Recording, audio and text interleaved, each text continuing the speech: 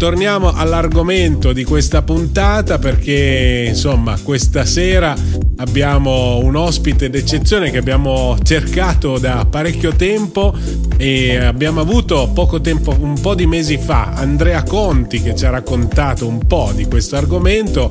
Insomma, abbiamo invece ospitato questa sera un attivista del Movimento 5 Stelle molto molto attivista, devo dire, e sempre presente, e però un grandissimo intenditore di questi argomenti. Quindi stasera ne parleremo con lui di in, impatto ambientale, carpotecnia e nutrizione MDA. E con noi Max Gaetano. Ciao Max. Ciao, ciao a tutti, come mi sentite? Bene? Eh, sì, ti sentiamo leggermente in, uh, in ritardo. Prova ancora. Prova, eccomi qua, sono qui a Milano okay, col telefono okay. di casa, quindi spero che più di, così, più di, così, non possiamo fare, no? Ok, ok. Come... E intanto come stai Max? Bene, bene, vedo che hai preso lo stile di Cruciani, eh, che quando chiama gli ospiti che gli stanno simpatici ti chiede sempre come stai, come stai. Eh? Ma io sempre chiedo come stai, a prescindere da, da Cruciani. ah, sempre? Certo, assolutamente sì. E insomma, intanto volevo, volevo, aprire una piccola parentesi prima di inoltrarci in quello che è l'argomento di questa, di questa puntata. E sì. allora, eh, so che tu hai fatto il carabiniere e oltretutto non solo sì. hai fatto il carabiniere, ma in realtà poi per volere del destino, insomma, hai anche effettuato servizio presso proprio queste società private di vigilanza, me lo confermi? Sì. Ecco, sì, il caso vuole che prima ho fatto il militare, il, il militare di leva nei carabinieri al Tribunale di Milano. E il caso ha voluto poi che eh, anche dopo come guardia particolare giurata, no, che sono poi le guardie armate, ho fatto anche lì il Tribunale di Milano, quindi ho visto sia prima che dopo e, e so so perché è successo quello che è successo e se vuoi magari affrontiamo l'argomento anche dal punto di vista sia politico, delle dichiarazioni dei politici, sia delle responsabilità vere e proprie, che poi certo. in ultima analisi sono quelle dei giudici e in seconda analisi cioè in primo luogo quelle dei giudici e in secondo luogo quelle degli avvocati. Assolutamente sì, assolutamente sì. Eh, ti, dico la, ti, dico la, mia esperienza? Certo, certo, infatti. Proprio... Allora, eh, niente, il Tribunale di Milano prima mh, era vigilato dai carabinieri, era uno, uno, uno, sparuto gruppo di carabinieri, i quali dovevano anche fare la cucina, la cucina della, del, um, diciamo, per tutte le forze dell'ordine. Eh, siccome la cucina è anche abbastanza buona, quella dei carabinieri, non so il motivo, venivano anche dipendenti del Tribunale e quindi eh, una grossa parte dei carabinieri era destinata alla cucina. Quei pochissimi carabinieri che mh, rimanevano in servizio che era diviso in due, in due, parti, una sezione scorte che però fanno tutto il loro lavoro per i fatti loro e la sezione tribunale che devono fare la vigilanza sia all'ingresso che interna. Certo. Ora se ti dico che erano pochissimi, eh, il tribunale è enorme, ci eh, posso credere che erano pochissimi. Ci credo sulla parola, guarda. eh, ma tu pensa poi divisi per due, una parte uh, all'accesso ingressi e l'altra parte a girare per il tribunale per eventuali emergenze. Certo, ma tu hai Quindi fatto che giravano, servizio sì. anche eh, proprio al tribunale di Milano? Sì, sì, sì, sì, io ho eh, fatto quindi insomma diciamo un'esperienza assolutamente diretta. Direttissima, sì, sì. Tra l'altro perché io posso dire che la responsabilità è della maggioranza dei giudici? Perché nonostante sia un reato penale non qualificarsi all'ingresso di un obiettivo sensibile, adesso non ricordo il, il, numero, del, il, il numero, del, codice penale, certo. I magistrati avevano i loro accessi, hanno i loro accessi nelle porte carraie con le quali entrano in macchina o a piedi o potrebbero anche entrare dalle, dagli accessi degli avvocati, entrano dove gli pare. Poi ci sono alcuni accessi dove anche per l'ubicazione proprio fisica delle, delle loro, diciamo, loro uffici, eh, non so se avete presente il corso di Porta Vittoria, ha due accessi carrabili, certo. da uno entrano i giudicanti e dall'altro entrano i, gli inquirenti. E ho fatto pure quel, la guardia diciamo, in quegli tipo di accessi lì. E eh, ora uno se entra in un obiettivo sensibile avrà tutto l'interesse che il controllore che controlla gli accessi sia il massimamente efficiente e lui sia massimamente collaborativo per controllare che questo accada. Ti dico che i magistrati quando entravano, si stupivano che qualcuno gli chiedesse loro un documento di riconoscimento, cioè pretendevano, pretendevano di essere riconosciuti a vista. Siccome c'è una rotazione, soprattutto quando c'era la leva, non è che tu arrivavi lì e sapevi tutti, cioè potevi conoscere Borrelli e Di Pietro all'epoca e, e basta e a Malapena Colombo e Davigo, il Pullman Polite. quindi tu l'hai fatto nel periodo proprio di Mani Pulite? Quindi mm, ai tempi guarda, di... beh, aspetta, lo... no, beh, in realtà l'ho fatto un po' dopo, nel 99, però erano, c'erano ancora in auge. Certo. Non so se c'era ancora Di Pietro, però gli altri c'erano tutti. Che succedeva? Che mh, soprattutto i giudicanti, cioè quelli che dovrebbero essere ancora più ligi eh, al, dovere, si infastidivano, mostravano un atteggiamento di eh, come non mi conosci? Eh, no, non ti conosco, ti devi, ti devi far riconoscere, no? Certo. Quindi, essendo magari io di leva, ero un po' più preciso nel mio, nel mio lavoro perché non è che dovevo fare carriera, ma quel tipo di atteggiamento lì che, che avevano magari con me, avuto con un militare di carriera, e avrebbe, li avrebbe inquietati non poco, nel senso che una, una cattiva parola di un giudice ti, ti, ti distrugge la carriera. Certo. Quindi io immagino, immagino, poi ho anche visto, come venivano fatti entrare. Venivano fatti entrare così, con un pseudo riconoscimento a vista e loro stessi non verificavano che il carabiniere deve essere veramente riconosciuto o meno. Certo. Quindi probabilmente Quindi, anche il tipo di, di atteggiamento da parte dei carabinieri all'interno che, che, devono controllare gli accessi è un po' eh, chiaramente impaurito da quello che potrebbe succedere nel caso uno dovesse fermare una persona e mettersi esatto. lì a perquisirlo. Esatto. Ma questo è normale, umano e non potrebbero fare altrimenti perché un, un piccolo screzio con un, con un, giudice che però nella scala gerarchica è il top, il giudice, certo. sopra anche gli ufficiali, eh, vuol dire la carriera finita o comunque la carriera malmessa,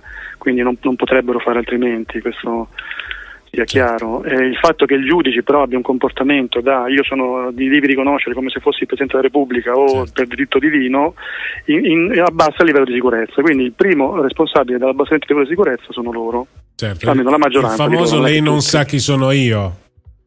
Sì, sì, è pazzesco, pazzesco, perché poi se li vedevi arrivare con la scorta, riconoscevi la scorta, è ovvio che non c'era bisogno di un riconoscimento diretto perché si qualificava la scorta. Certo, certo. Ma eh, quando entravano da soli eh, eh, dovevano per forza farsi riconoscere. E questo da, dall'ingresso diciamo loro riservato, ma agli ingressi riservati sia loro che agli avvocati mh, succedevano cose tipo, non so se è presente i Blues Brothers quando uno dei due fratelli si qualifica con un pacchetto di sigarette. Ah, sì. di, di sigarette. sì, sì, me la ricordo. Non sono scene reali queste, ma il motivo Ehm, è molto semplice. Quello che sto dicendo, tra l'altro, lo sanno tutti quelli che lavorano nel lavato del tribunale, tutti, anche i muri, cioè sia i magistrati che gli avvocati, che i dipendenti del tribunale, che le forze dell'ordine, certo. tutti, nessuno escluso.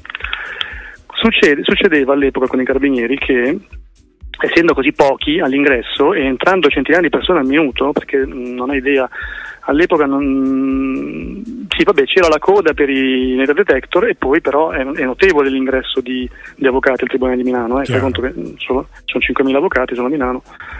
Quindi era fisicamente impossibile controllare, proprio un carabiniere, un, un, un, ingresso non poteva controllarli, quindi che facevano? Questi entravano di fretta, poi loro con la scusa che sono di fretta, gli avvocati cercano di farti pressione psicologica perché dici mi fai perdere la causa, mi fai arrivare in ritardo, quindi succedeva che il prassi era che a quel tempo il, testino degli avvocati era un cartoncino piegato, piegato che al cui interno c'era la foto, quindi dovevi aprirlo, ma piegandolo si vedeva solo il bordo blu. Certo. Il 90% degli avvocati entravano col cartoncino piegato col bordo blu, cioè bastava che tu facessi vedere un cartoncino blu per entrare. E ricordo solo un avvocato che entrava con, con il, col, il testino spiegato e mi, mi, puntava in faccia proprio la sua foto. Io certo. pensavo, cazzo, questo è uno che ci tiene alla sua sicurezza. Chiaro. Perché vuol dire che non, non, vuole che gli altri entrino così, che potrebbero essere chiunque, ma parliamo di appunto gli anni, fine anni 90. che è successo?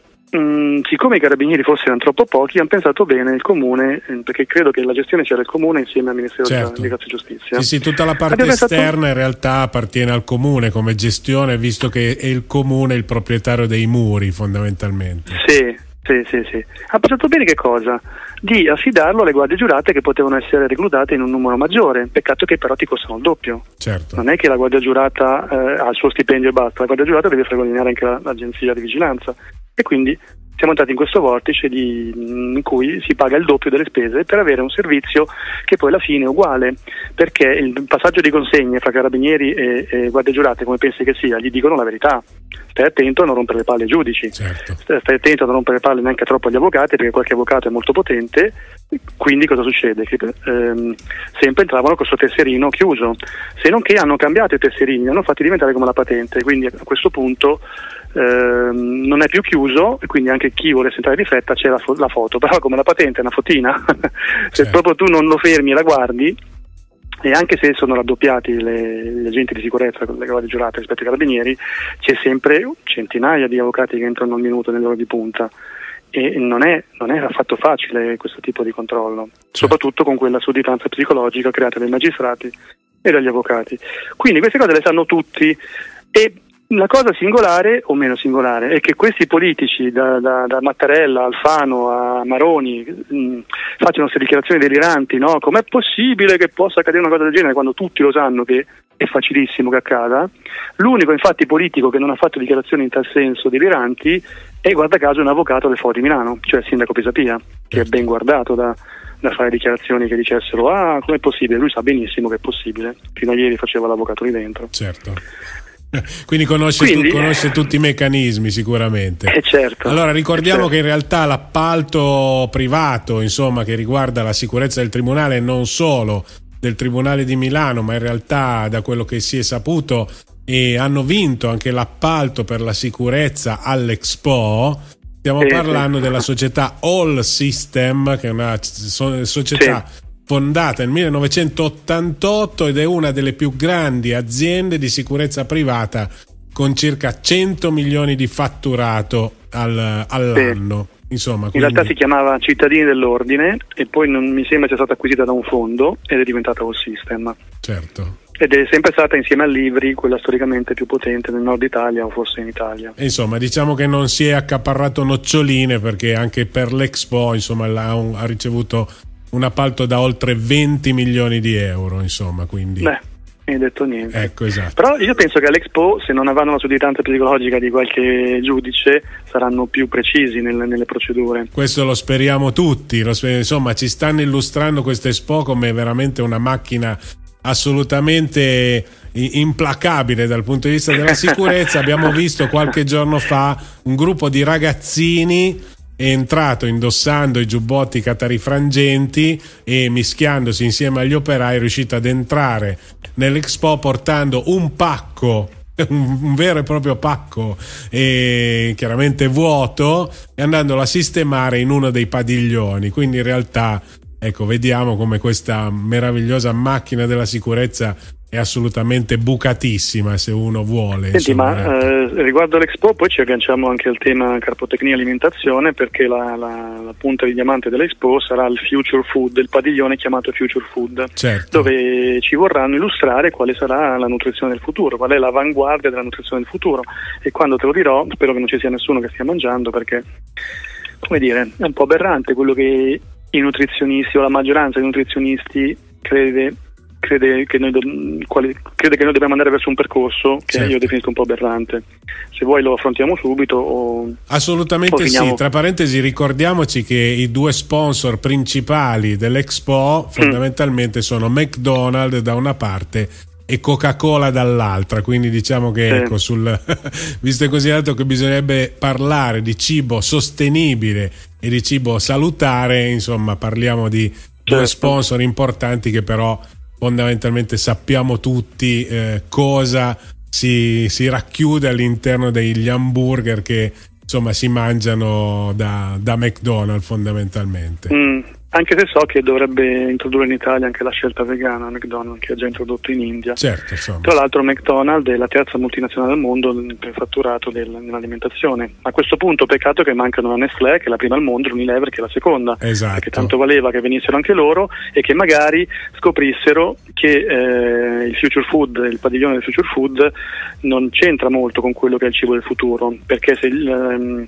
la Nestlé e l'Unilever scopriranno quello che io sto per dire, cioè la, car- la carpotecnia, del carpos vuol dire frutto dal, dal greco, eh, nel futuro sostituirà la zootecnia e questa è una cosa inequivocabile, dato che la natura agisce secondo il principio della minima energia e eh, l'attività predatoria è un'attività alla massima energia, quindi predare le carni ma come anche le piante e i semi certo. procura una massima energia digestiva, mentre eh, l'attività non predatoria, cioè quella invece in simbiosi con le, con le piante, eh, le piante da frutto, gli alberi o le, le, piante, le piante, negli orti, i frutti, frutti da orto, la cosiddetta fruttortaggio, certo. fa sì che ci sia un'attività digestiva a minima energia. Certo, Quindi il futuro è quello. Questo non, la natura è piuttosto implacabile, è che, il punto è che non sappiamo in quanto tempo la natura andrà in quella direzione. Chiaro. Possiamo velocizzarla con la carpotecnia, cioè tutte le ricette cosiddette onnariane, dopo spiegheremo perché onnariano, cosa vuol dire non onnivoro, perché non esiste nessun animale onnivoro. Onnariano. Onnariano, onnariano vuol dire che mangia tutto, Onnivoro vuol dire che ha 18 apparati digerenti, cioè onnivoro certo. dovrebbe essere uno, il termine voro vuol dire adatto a, in termine voro negli studi di biologia, di botanica e di etologia vuol dire adatto a.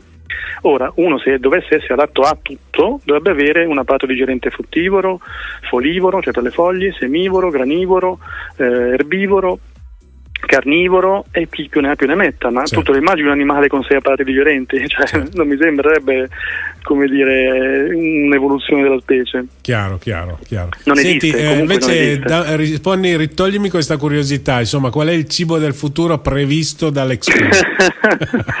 Vedi, Perché siamo ancora in orario di cena e non lo so, comunque la cosa della verità è va detta. Allora, siccome hanno questa mh, mania delle proteine, cioè i due grandi miti che adesso andremo a confutare sono le proteine e che, andiamo a tante proteine e a glucosio. Certo. Il loro mito principale è le proteine e siccome la zootecnia fa sì che su 5 miliardi di, et- eh, 5 miliardi di ettari sul pianeta Terra destinati all'uomo, 3 miliardi e mezzo sono destinati al pascolo delle povere mucche che vengono macellate, 1 miliardo e mezzo ai campi di grano, per, che poi le, per, due terzi di questi sono fatti per dare a mangiare alle mucche, che è un animale erbivoro, gli danno un seme e poi si lamentano che diventa pazza. Certo. Rimane uno 0,03 dove noi viviamo uno sopra l'altro in queste città quando con questi che 5 miliardi di ettari di potremmo... abitabilità fondamentalmente è che dovrebbe essere 5 miliardi di ettari certo. e noi invece siamo in 0,3. Okay. Succede che aumentando il consumo di carne aumenta questi 3 miliardi e mezzo dove stanno le mucche e che succede che lo sanno i nutrizionisti che è insostenibile la cosa, è impossibile.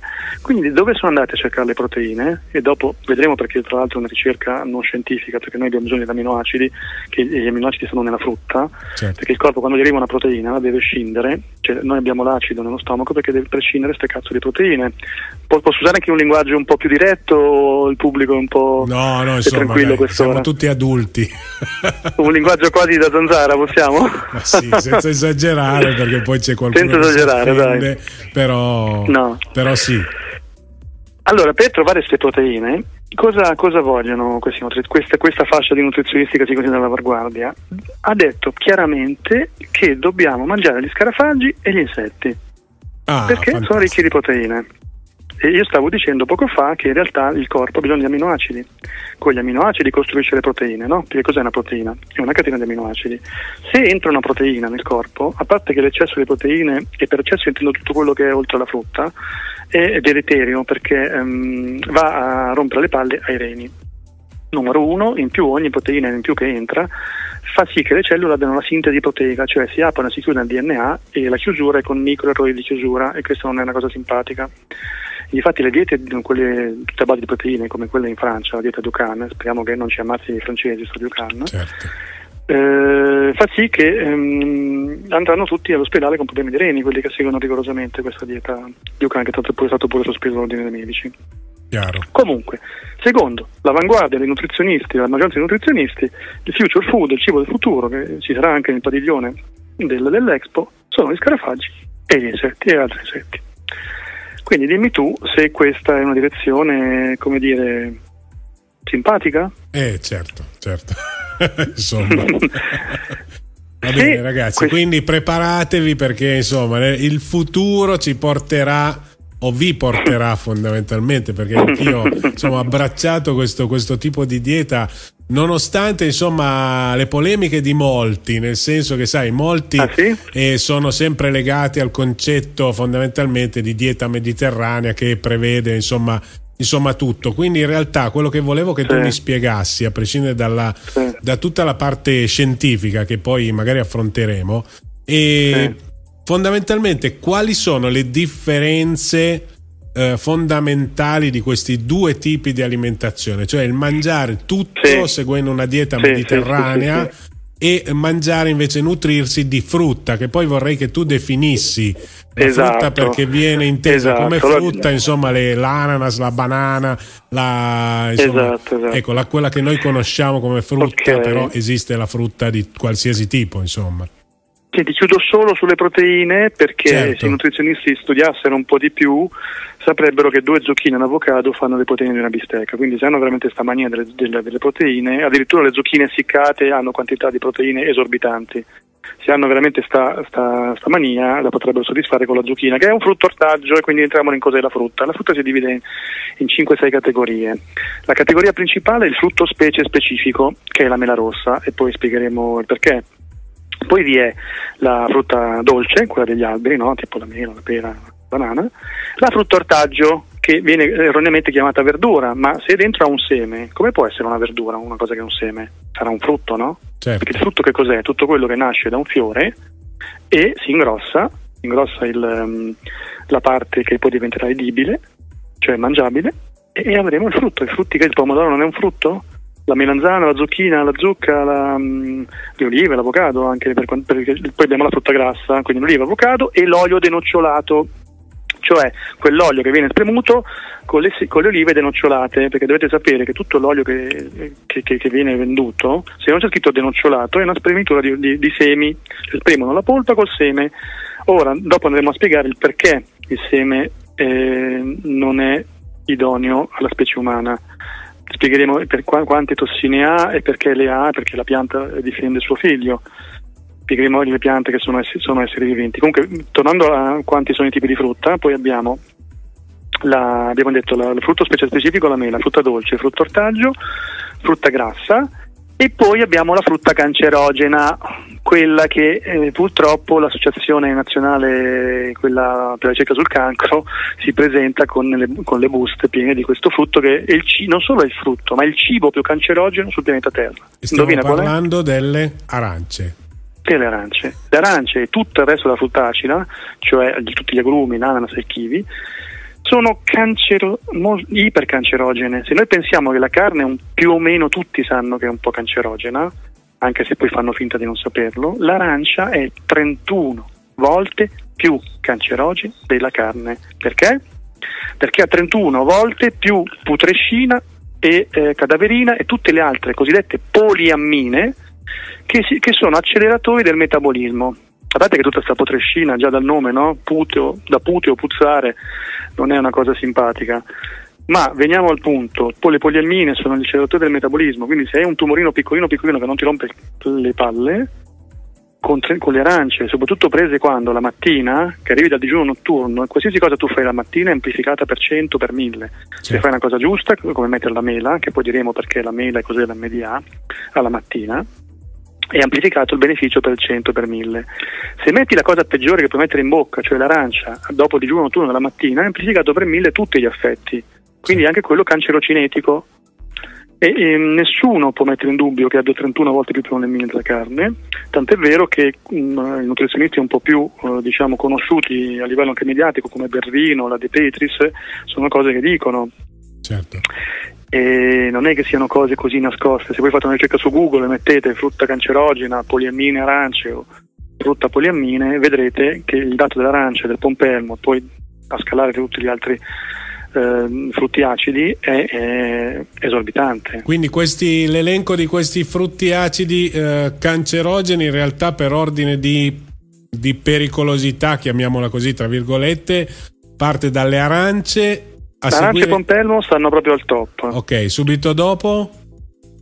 E subito dopo non me la ricordo la, la, classifica esatta, però abbiamo gli agrumi, poi l'ananas e il kiwi, okay. eh, che vanno anche analizzati dal punto di vista della quantità stratosferica di acido citrico, che è quel famoso E330 che voi vedete in tutte le scatolette. Ora, chi, se c'è qualche donna all'ascolto che eh, pulisce il bagno con l'acido citrico, sa benissimo che è un, eh, una sostanza molto corrosiva. Certo. Tra l'altro si chiama acido chi, i chimici lo sanno, ma se ci ragionate un attimo, qual è il mestiere dell'acido? Piacere, faccio l'acido. Qual è il suo mestiere? Qual è il suo mestiere? corrodere, corrodere, ma corrodere è una cosa pesante, eh? non è una cosa simpatica. Tradotto in, in, in, fisica vuol dire rubare elettroni. Quindi tutto quello che ruba elettroni corrode e, e diciamo crea dei danni non piuttosto significativi. Eh, purtroppo queste cose vengono sottovalutate perché eh, diciamo la, la, la, pura verità. Queste cose che io sto dicendo le sanno in tutte le università, solo che le sanno a compartimenti stagni. Cosa vuol dire? Che ma, eh, l'assenza di approccio multidisciplinare fa sì che la facoltà, che quelli eh, non esistono più neanche le facoltà, si chiamano dipartimenti, quelli del Dipartimento di Chimica, cioè la vecchia facoltà di Chimica, non sanno le ricerche di, di quelli della, della, facoltà o del Dipartimento di Biologia, che a sua volta non ha collegamenti col Dipartimento di Medicina, che a sua volta non ha collegamenti col Dipartimento di Botanica o di Agraria, perché se no lo saprebbero che le piante ehm, sono molto tossiche, in particolare per difendere se stesse, cioè si chiamano fit, eh, metaboliti secondari killer, le fitotossine, che qualsiasi botanico, qualsiasi eh, laureato in agraria sa, sono tantissime nella pianta stessa che li usa a difesa dei predatori, perché la pianta è un essere intelligente che ha i neuroni, dimostrato pure questo, sempre tra l'altro tutte queste dimostrazioni avvengono spesso in Italia, certo. come anche dopo parleremo dei neuroni specchio, sono stati scoperti a Parma. Comunque, tutte queste dimostrazioni esistono a compartimenti stagni, ma le piante sono esseri intelligenti, i neuroni ce li hanno eh, negli apici radicali come già aveva ipotizzato Darwin. Dopo andiamo anche sullo storico, no? dato che tu dicevi che eh, prima nella, nella presentazione eh, da notte dei tempi, che ehm, diciamo viene mangiata frutta mentre la, mangiare carne è stata una cosa avvenuta un pochino dopo e poi magari spieghiamo tutto l'iter. Certo, certo. Tra l'altro nessun carnivoro mangia la carne, nessun carnivoro è così idiota da mangiare la carne. I carnivori mangiano l'interiora e solamente i carnivori sfigati perché i, i imbelli, cioè i nermi, cioè perché non possono competere con un leone, tipo lo sciacallo, la iena o, o l'avvoltoio, mangiano la cosiddetta carne, cioè i muscoli perché non possono fare a botte con un leone. Tra l'altro lo sciacallo in particolare che ha scarsissima capacità predatoria vive poco e niente, perché poi andiamo a vedere quanto vivono. Lo sciacallo, il carnivoro mediamente vive eh, 10-15 anni, lo sciacallo vive molto di meno perché cibandosi dei muscoli che nessun carnivoro si, gli viene in mente, a meno che non sia stato di necessità di mangiare, e non pigliate come esempio gli animali domestici che se gli buttate il muscolo quello se lo divora perché eh, innanzitutto bisogna vedere come si comporterebbe in natura in, eh, non in natura cioè in casa o comunque svezzato con cibo tossico anche per lui, perché quello che conta poi è lo svezzamento, che guarda caso i cibi che noi ci sembrano, ci fanno impazzire, spesso sono quelli dell'infanzia o addirittura dello svezzamento. Certo quindi tra l'altro in natura non hanno malattie gli animali, a parte gli animali domestici che ah, cominciano ad avere le stesse patologie dell'uomo. Certo. Ehm, Senti Max, allora intanto sì. vabbè, eh, chiaramente su questi argomenti si innescano dei meccanismi dal punto di vista proprio di chi ci ascolta, insomma che molto spesso sono abbastanza dubbiosi su questo tipo di alimentazione. Sì. Ti scrive proprio Cristina che fa la farmacista eh, sì. mi scrive io però per trattare questi argomenti mi affiderei ad esperti allora ti assicuro che Max è assolutamente un espertissimo di questo argomento ecco quello che no, vorrei... beh, diciamo che non ha, non ha, tutti i torti perché io comunque vengo da giurisprudenza e alla fine sono un cultore della materia e non mi sono laureato però questo mi ha salvato perché non laureandomi non ho avuto quel parocchi che che, di cui stavo parlando prima, perché la nostra amica farmacista deve sapere che la scienza è scienza solo se è multidisciplinare. La monodisciplinarità non è scienza, non può essere scienza. Perché se tu non conosci la chimica, come fai a fare il nutrizionista? Perché chi sono i nutrizionisti? Allora diciamo chi sono. Sono laureati ehm, ad agraria, a medicina e a biologia. Dopodiché eh, si specializzano. I, no, I medici innanzitutto ti faccio, beh, forse lo sai già, te l'ho già detto. Indovina quante ore di nutrizione fanno i medici? Quante ore? Poche, poche. Mi ricordo da una tua conferenza che insomma.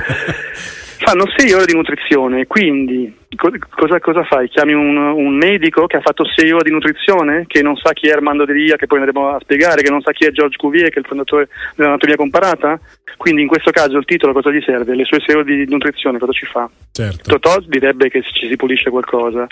Però vabbè, andiamo a vedere quel 2-3% di medici eh, che poi si specializza in nutrizione, no? Certo. Perché alla fine il medico di base e tutti gli altri medici specializzati, che ne so, in nefrologia o nei polmoni, nel cuore, cardiologia, no? ehm, si fidano di chi? Dei nutrizionisti, perché tipo un nefrologo sa tutto sui reni, cioè ti può dire tutto sui reni, un cardiologo ti dirà tutto sul cuore, quindi sapendo loro di essere a quel livello lì di conoscenza, presuppongono, immaginano che i nutrizionisti sappiano tutto di nutrizione, quindi si fidano. Quindi in realtà i medici non hanno colpa, perché si fidano di chi pensa si sia specializzato come loro. Certo. Andiamo a vedere la specializzazione di questi nutrizionisti. Innanzitutto, i nutrizionisti che cosa studiano? Per esempio, materia fondamentale per capire un attimo l'anatomia e la fisiologia del, della specie umana è anatomia comparata dei sistemi digerenti e fisiologia comparata dei sistemi digerenti. Tu pensi che ci sia qualche nutrizionista che studia questa materia?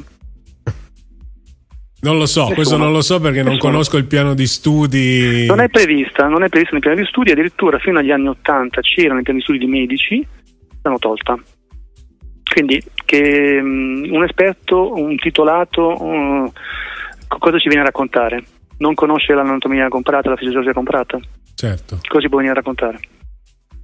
Chiaro, Tra l'altro l'OMS a sua volta detta, detta, legge, ma detta legge su che cosa? Detta legge su diciamo sulla come mangiare, ma lei si fida dei nutrizionisti, perché non è che l'OMS è, è un organo dell'ONU, organo dell'ONU che avrà una consulenza di nutrizionisti, quindi si fida dei nutrizionisti, fa come i medici. Certo. Quindi a loro volta i, medi, i, medi, i medici, i nutrizionisti si fidano dell'OMS ed è un, è un cane che si morde la coda perché se l'OMS detta le informazioni in base a quello che dicono i nutrizionisti che però non, non hanno un approccio scientifico e dopo spiegheremo perché e poi addirittura gli basta sentire i medici o i nutrizionisti stessi che dicono ma lo dice l'OMS e eh, te credo, gli hai detto tu all'OMS Certo, certo, tu o la tua categoria. Quindi diciamo che è un, circo, un po' un circolo vizioso in realtà, esatto, non viene esatto. mai interrotto.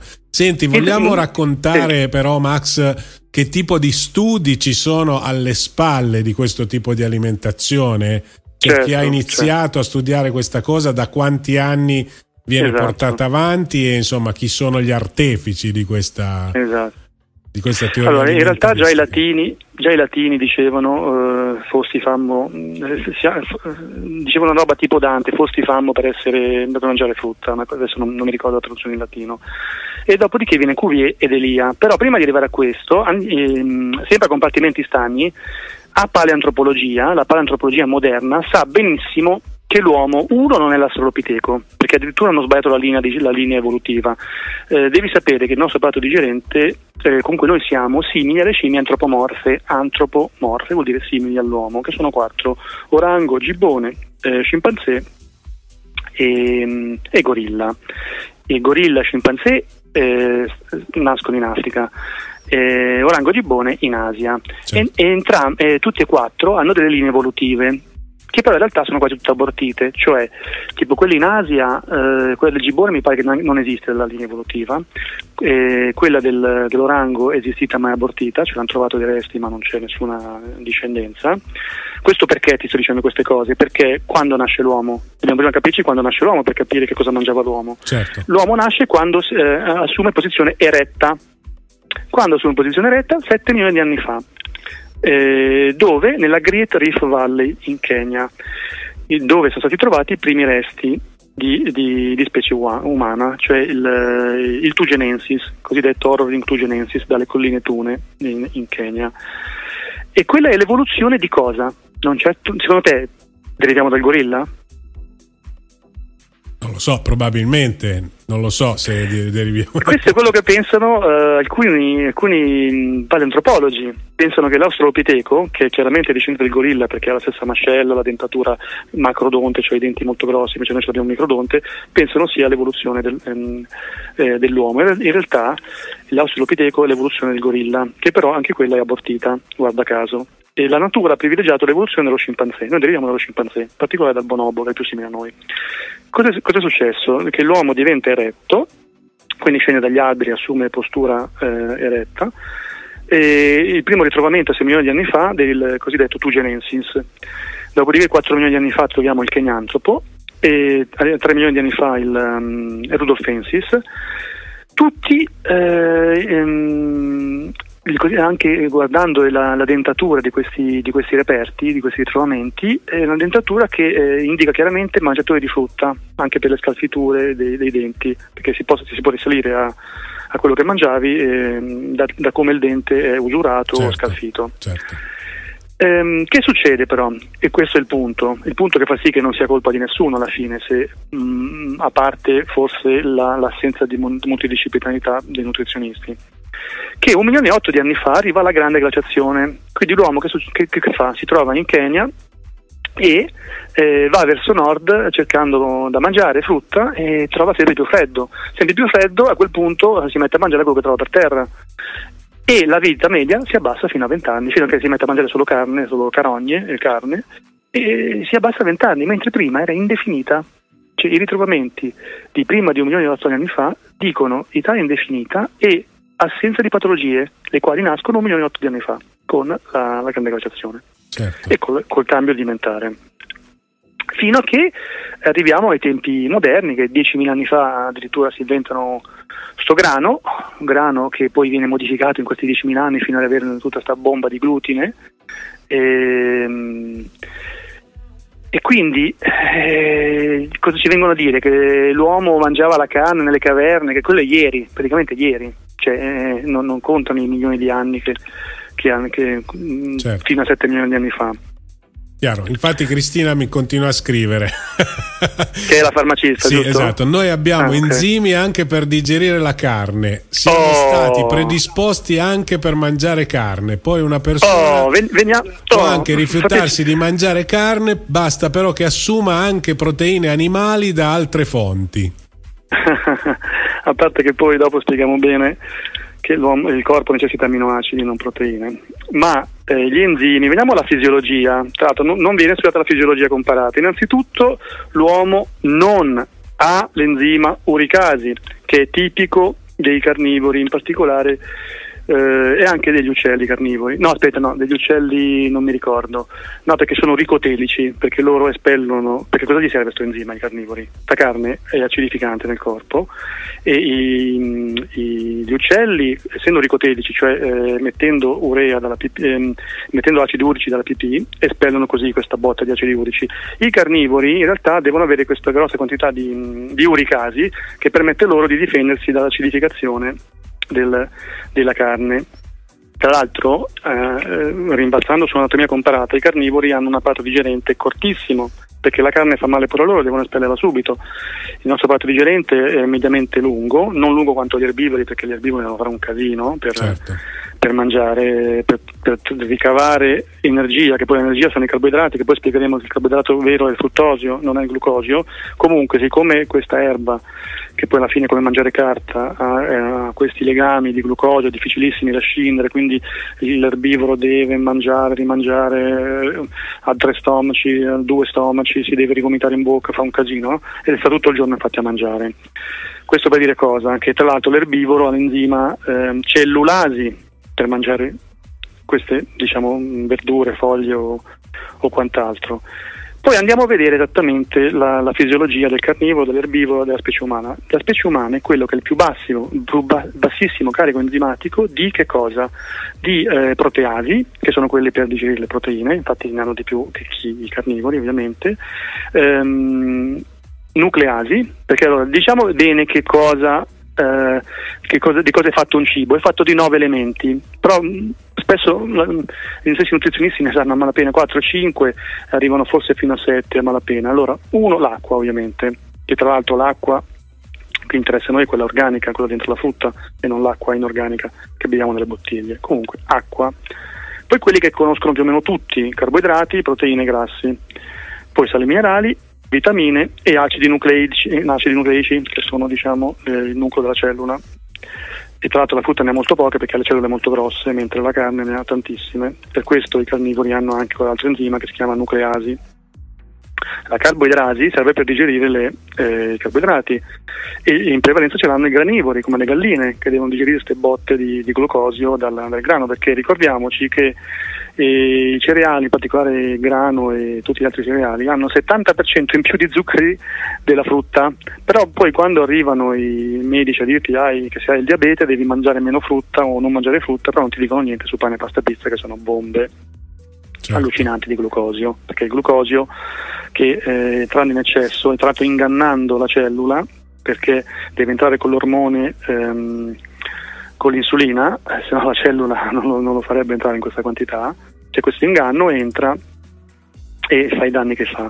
Il settimo eh, l'ottavo elemento sono i fitochimici, dalla parola fito vuol dire che siamo solo le piante, e poi i fitocomplessi, che è sempre dalla parola fito, siamo solo le piante. Quindi questo cosa dimostra? Questi nove elementi noi li abbiamo sicuramente nelle piante o nelle, nelle, dire, nell'alimentazione tipo vegetale, cioè tutti e nove. È ovvio che quella invece l'alimentazione di derivazione animale non ha i fitochimici e non ha i fitocomplessi, certo che la parola, la parola fito vuol dire vegetale. Certo. Senti Quindi che... dicevamo il carico. Sì. No, no, no, vai, vai. No, il carico enzimatico abbiamo detto che eh, noi siamo la specie con il più basso carico enzimatico di nucleasi, proteasi, eh, carboidrati, ehm, adesso non so se mi sfugge, quelli, quelli principali sono questi, eh, perché tanto ovviamente tra eliminare le vitamine non è che devi digerirli, poi l'altra componente che entra sono le fibre, e quindi questo dimostra chiaramente no, verso cosa dobbiamo andare. Tra l'altro la cosa principale che non, non, non, sanno, i nutrizionisti non la sanno, ma neanche al massimo livello, neanche a livello di docenti di nutrizione, quelli che ti insegnano i nutrizionisti, ma neanche i capi delle scuole di perfezionamento lo sanno più o meno bene, o ah, se tu li vai a interrogare non lo sanno, cioè quante proteine ha il latte materno? Pochissime, pochissime. sappiamo che la carne è il 20%, no? Tra l'altro l'OMS mi pare dice di mangiarne il 15, se non sbaglio. Ehm, la carne è il 20, quanto ha il latte materno? Eh, avrà, guarda, l'avevo sentito, ma. Aspetta, tieni conto, eh, tieni conto che in, nella fase della crescita in cui la specie umana triplica i muscoli, triplica le ossa, quindi è la fase in cui ha più fabbisogno uh, di, nutri- di proteine. Quindi qual, qual è il risultato? No? il 2% di proteine. Ma questo è il colostro, il primo latte, poi scende subito 1,9, 1,8, 1,7, 1,6, ehm, arrivando fino a 0,7 e poi se l'allattamento continuasse chissà quanto, quanto diminuirebbe. Sta il fatto che sono le proteine medie della frutta. Certo. Non, è, non, è, che è un caso, noi siamo l'unica specie che va a mangiare cibo più proteico di quello del, latte, del proprio latte. Tra l'altro i nutrizionisti, proprio abbiamo verificato, non sanno che pensano che il latte di mucca sia meno proteico di quello umano. Cioè, e invece è, è, è, non so se è il 40% più proteico. Oppure ci portano studi, no? perché poi per dimostrare che mh, dobbiamo mangiare carne, derivati animali, ci portano degli studi, cioè dicono, dicono che ci sono degli studi, ma nessun nutrizionista, nessun medico li conosce. Certo. Esiste qualcosina negli anni 50 su, eh, di sperimentazione sui topi. Ora, a meno che tu non pensi di essere un topo, io no. Mi dici che c'entra la fisiologia di un topo? Fisiologia vuol dire ehm, l'organismo interno, no? cioè l'anatomia la parte esterna, la fisiologia la parte interna. Ora, a parte che neanche anatomicamente mi sembra che siamo molto simili a un topo, ma fisiologicamente c'è un abisso. Certo. Certo, assolutamente. Noi siamo vicini anatomicamente e fisiologicamente alle scimmie antropomorfe, che guarda caso in assenza, eh, cioè in abbondanza di frutta, e in abbondanza di territorio, perché ricordiamoci che il loro territorio è devastato e che quindi potrebbero trovarsi in carenza di frutta e quindi potrebbero mangiare qualcos'altro, ma in abbondanza di frutta mangiano solo frutta. Tant'è che gli osservatori, gli, gli zoologi che stavano in Africa a osservare i comportamenti delle scimmie si rompevano talmente le palle che scrivevano e giorni e giorni e settimane che sono qui sotto questo albero, perché sono in alberi grossi come campi di calcio, cioè alberi enormi, certo. e le scimmie non si spostano finché non hanno finito di mm, prendere tutti i semi tutti, cioè, scusa, i frutti del, del medesimo albero. E qui arriviamo alla simbiosi, la simbiosi fra mammifero e, eh, e, albero. Simbiosi vuol dire crescere, vuol dire mh, mm, crescere insieme, cioè avere una, um, stare insieme in maniera favorevole l'uno per l'altro. Certo. Vuol dire che la pianta fa il frutto e il frutto che cos'è? Suo, contiene il figlio, il seme e ha bisogno dell'animale in questo caso l'uomo, eh, diciamo che, che, l'uomo è un animale, eh, perché c'è gente che pensa che sia un minerale o un vegetale, prendiamo il regno animale. Certo. Che succede? Che la, la, la, pianta ha bisogno di qualcuno che gli trasporti il seme lontano, perché se il frutto cadesse sotto, sotto la pianta stessa, ucciderebbe i semi, perché la pianta ruberebbe l'acqua e il sole ai suoi figlioli. Quindi cosa, cosa subentra? Subentra l'animale che eh, si chiama dispersione mh, zoocora, cioè è un, è un, tipo di dispersione del seme, cioè portando il frutto lontano dalla pianta, mangiando la parte edibile, cioè la, la polpa, e o ingoiando quando i semi sono molto piccoli o gettando, come nel, nel caso della mela, no? nessuno arriva, pochissimi arrivano a mangiarsi il torso perché è amaro, giustamente, perché là dove stanno i figli la, la, la pianta ha fatto, ha fatto il torso l'amaro. Lo getti e quel, quelle, quei fili di quella pianta possono, hanno una chance di crescere col sole e con l'acqua. Certo. Quindi ha bisogno di un vettore e, fondamentalmente. Esatto, esatto. E ho aperto 3000 parentesi, adesso aiutami a chiuderle. Senti, allora no, io la, la stronco la parentesi chiedendoti perché Uh, per quanto riguarda questi studi, eh, eh, anzi, intanto ricordiamo da quando sono partiti questi ah, studi. Ah, scusami, perché la paleantropologia non abbiamo. Uh, se, se, cosa succede? Che nel 1800 la, il fondatore dell'anatomia comparata, Georges Cuvier, chiudeva tutte le sue lezioni universitarie dicendo in base agli studi dell'anatomia comparata l'uomo è un animale frugivoro, lo diceva in francese ovviamente, adesso non mi ricordo bene come si dice, tutte le lezioni le, lo, lo, le chiudeva così, questo in base agli studi di Delia, che Delia è stato il massimo divulgatore ehm, scientifico della, de, de, a livello nutrizionale e aveva nel suo ufficio la foto di Cuvier. È sì. Delia che dice che Cuvier chiudeva tutte le sue lezioni dicendo questa frase.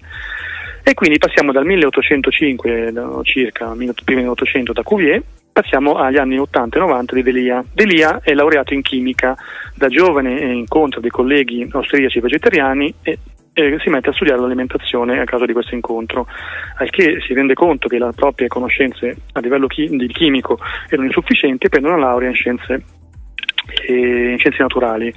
Prima cosa dicevamo? Può un nutrizionista parlarti di nutrizione se non conosce la chimica, se non sa come funzionano eh, le, reazioni, le reazioni chimiche? Non può. Ma a sua volta può un nutrizionista parlarti se non conosce anche la fisica? Se non sa cosa succede a livello subatomico? Certo. Perché a malapena sanno che l'atomo è formato da elettrone, protone e neutrone. E quindi? E a livello subatomico che succede? Cioè, I fisici stessi non so se arrivano a sapere che eh, si, ci, si, scompone, la forza più elementare è la, la forza elettromagnetica e allora bisogna, bisogna studiare tutto. Cioè, come fa un nutrizionista? C'è un medico allora che fa zero di nutrizione, zero chimica, base, cioè, quasi zero, biologia non so quanto faccia, eh, fisica non ne parliamo, e allora di cosa stiamo parlando? Com- come si può pretendere che, di far parlare un, un un titolato di queste cose, quando nel, sua carriera non è previsto lo studio di questi argomenti. Certo, è chiaro. Senti, per quale motivo la mela... È frutto specie specifico, perché a parte che i ritrovamenti eh, nella Rift Valley fanno vedere che un uomo sia cresciuto con, con, la mela, e tra l'altro un fisico potrebbe spiegare che questa coevoluzione fa sì che il, il melo dia un ossigeno migliore di quanto lo possono dare altre, altre piante per la specie umana, perché tu sai no, che andiamo anche ossigeno e quindi purtroppo però vivendo in città questo ossigeno è anche un po' viziato da, da, queste, da, questi riscaldamenti, in particolare che non è tanto le automobili ma i riscaldamenti. Certo. E qua apro un'altra parentesi perché anche gli architetti purtroppo sono ancora all'epoca della pietra e dopo diciamo esattamente qual è l'epoca della pietra. Perché se tu devi fare una casa devi riscaldarla, dato che il nostro ambiente specie specifico sono i tropici, se tu sei fuori dai tropici dovrai riscaldarti, no? E ti, cosa ti inventa l'architetto? Ti inventa la casa a parallelepipedo, tutta squadrata, certo. dove l'aria calda sarà solo nell'ultimo centimetro in alto e tutto il resto dovrai pompare il riscaldamento a manetta e facendo un inquinamento aberrante. Ehm, per, per, per, che cosa? Per avere un, tutto, tutta l'aria calda in alto. Certo. Ma secondo voi gli igloo come li riscaldano gli eschimesi?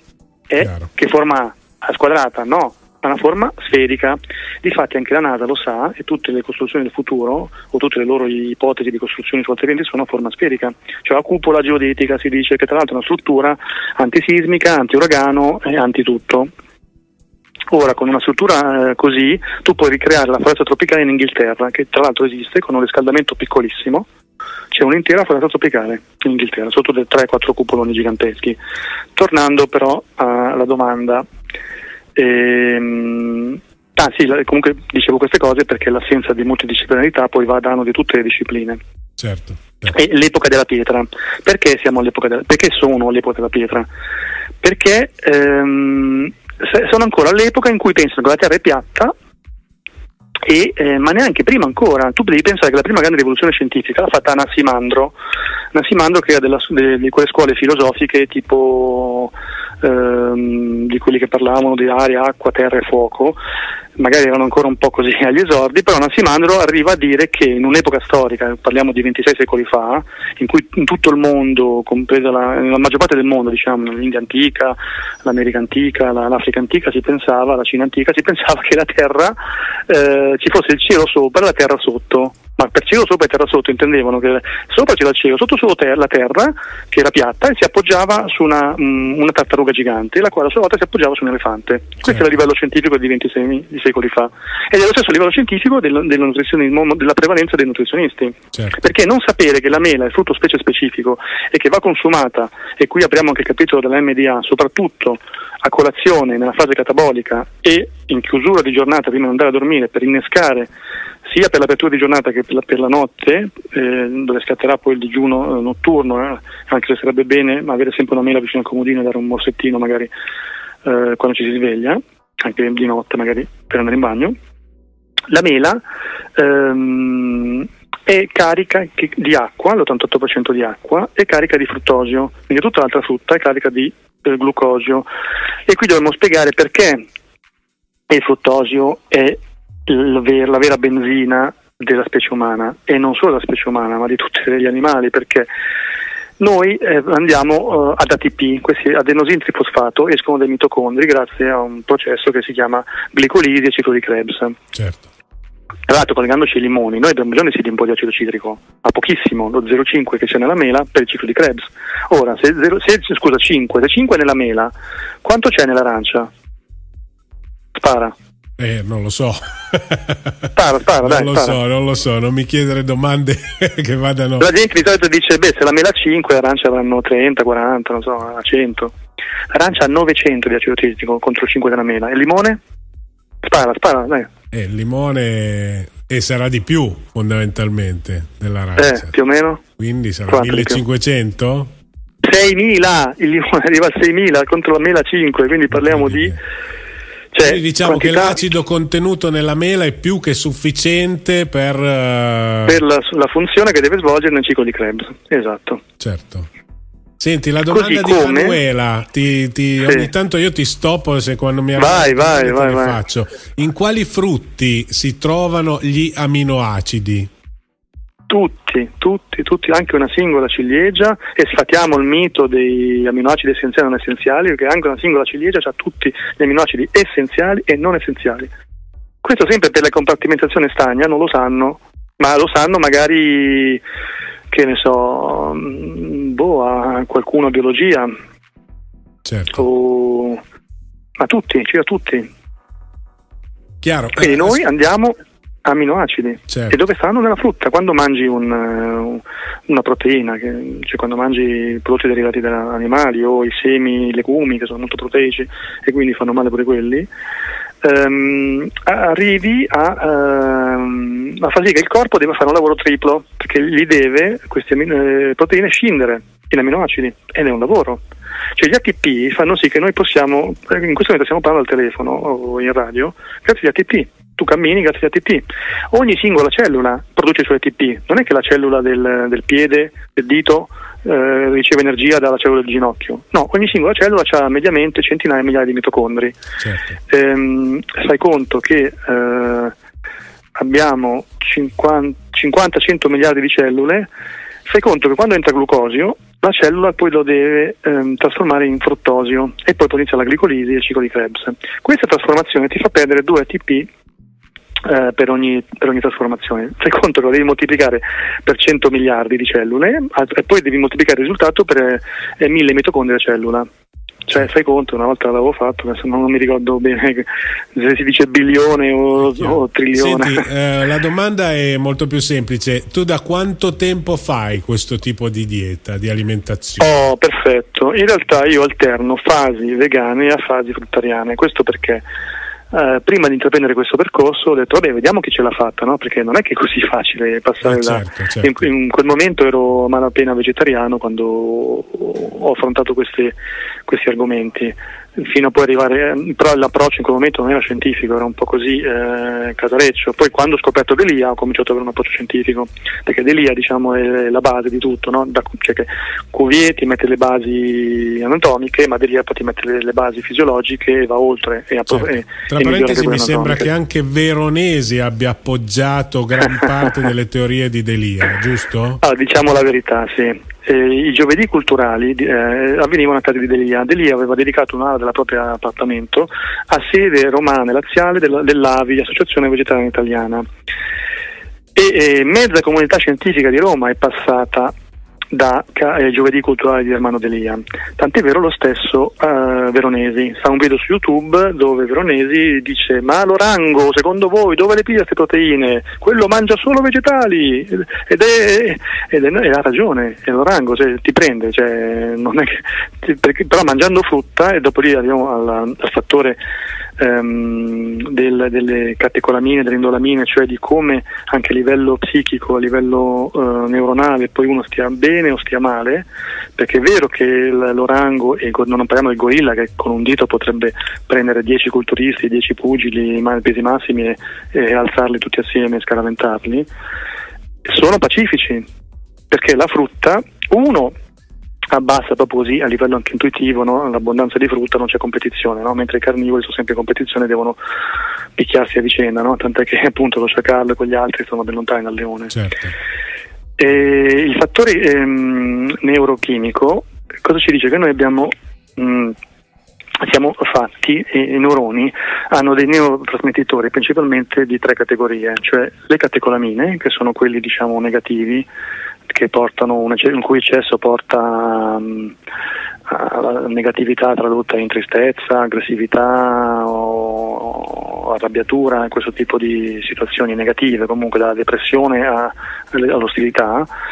Oltre alle categorie ci sono le indolamine, che sono invece l'opposto, quelli che ti portano a un eccesso di allegria, di risate. E poi c'è il terzo tipo di neurotrasmettitore, che è quello perfetto, che è l'acetilcolina, il quale ti porta alla serenità, che non hai eccessi né eh, negativi né, né eccessi positivi, nel senso che un'eccessiva euforia eh, eh, ehm, eh, non, è, non è uguale alla serenità. Ma in realtà noi ce li abbiamo per un motivo ben preciso, ne abbiamo un minimo di catecolamine di base, dobbiamo averlo, perché in una situazione di pericolo ti deve scattare l'adrenalina, la Certo, noradrenalina certo. e ti devi difendere, devi scappare, magari devi fare qualcosa. Gli animali cosa, cosa fanno in situazioni di pericolo? O si paralizzano facendo una finta morte e poi c'è un motivo, tra l'altro, perché il carnivoro non vede bene le cose ferme. Quindi o si paralizzano o scappano e gli scatta l'adrenalina. Certo. Tra l'altro apro una piccola parentesi su come la vista, la vista del carnivoro è in bianco e nero e vede perfettamente le cose in movimento, nitidissimamente, e vede a sfocate le cose ferme, tant'è che i pigmei lo sanno e, e quando incontrano un leone magari fermandosi hanno qualche chance che il leone, eh, a meno che non, non- non- non senta la loro adrenalina, certo. Non li veda.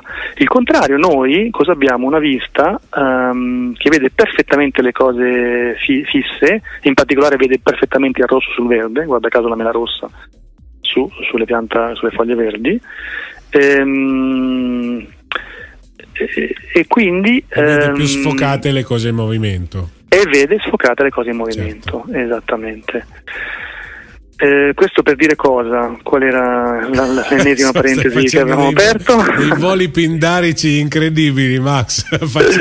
Eh, non so perché io sono abituato in conferenza a dire tutto velocemente perché il tempo è sempre un po' tiranno Infatti ti ho detto e magari che non mi rendo conto di tempo. Infatti in eh, realtà infatti non mi rendo conto che qua potrei andare giù tutto su mm, situazioni sì, e, e- e descrizioni assolutamente semplici, cioè nel senso Sì. senza entrare troppo nel, nel particolare dal punto di vista Ah, ecco, di- chiudiamo di solo valore. sulle ne- i neurotrasmettitori, no? È abbastanza semplice capire che quando sei incazzato, quando sei ostile, hai le catecolamine che stanno agendo eh, per te, no? C'è un eccesso di catecolamine. Quando invece sei eccessivamente che ti butti per terra da ridere o che ne so, ehm, sei in una situazione particolarmente che sei tipo sembri ubriaco, quello è l'eccesso di indolamine, certo, certo. euforica. Ma perché? Che succede? Che essendo in una situazione di stress quotidiano, in queste città piene di asfalto, che tra l'altro cioè è una cosa completamente naturale, aumentano le catecolamine, in, in parte per lo stress, ma soprattutto aumentano per quello che mangiamo. Se mangi cibo non, a specifico, cioè non della tua specie, il carico catecolaminico cioè il carico di questi neurotrasmettitori negativi ti portano alla depressione o all'ostilità o, o alla rabbia e cresce enormemente. Quindi quando tu vedi gente che fa questi gesti tipo quello del tribunale, certo. quello che aveva un carico catecolaminico altissimo, altissimo certo.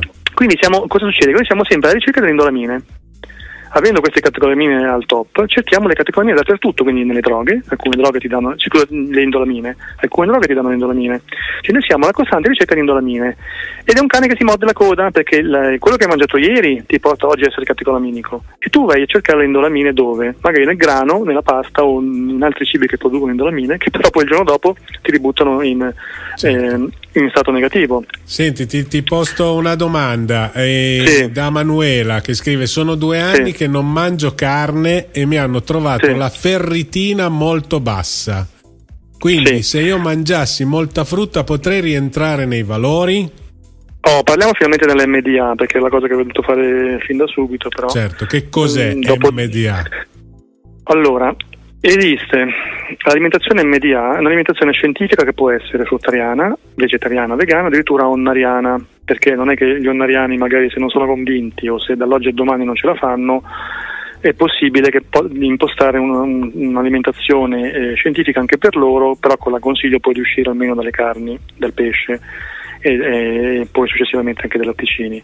Succede che alcuni vegani o vegetariani, non avendo impostazione scientifica, poi hanno patologie eh, magari peggio di alcuni onnariani che magari mangiano molta, molta verdura e quindi si alcalinizzano perché alcuni vegetariani e vegani magari mangiano solo cibo acido tipo solo semi o, o solo frutta acida, perché poi devi sapere che ci sono diverse correnti New Age in ambito vegano e fruttariano che inneggiano alla frutta cancerogena, cioè che per loro non lo è, per loro dicono che addirittura è alcalinizzante questa, le arance e, e, e il resto della frutta acida. Quindi può succedere che un vegano e a un vegetariano, addirittura un fruttariano abbia questi problemi che dice la, la ragazza che ha scritto in chat.